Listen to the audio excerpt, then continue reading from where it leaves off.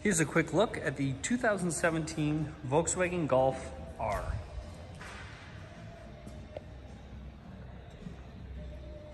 Coming around the front of the vehicle, you'll see the exterior paint super clean on this one. Not a whole lot to point out. The plate has been relocated, which is a nice touch. Very, very clean example. We have two sets of keys.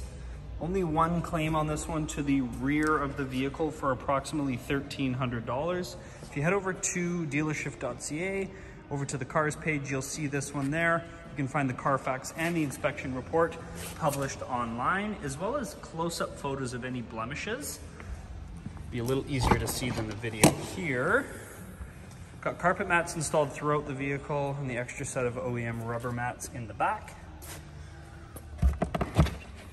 There's a sub down there, a little bit extra storage space.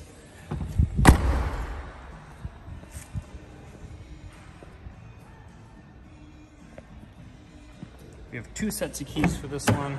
As I may have mentioned, leather interior is super clean on this one. No cuts, tears, or burns to point out. You have the cup holder system there. And then into the driver's seat now.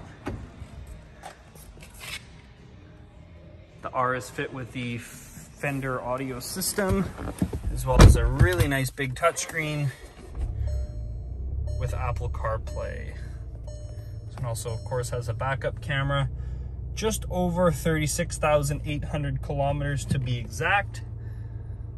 This one does have integrated nav system as well, or you can use the CarPlay. There's a look at your backup camera there. With front and rear parking sensors, as you can see on the left there, those can be turned on and off. We're huge fans of the Golf R at DealerShift. We've all uh, driven one at some point. Really, really clean example here in this 17 Golf R.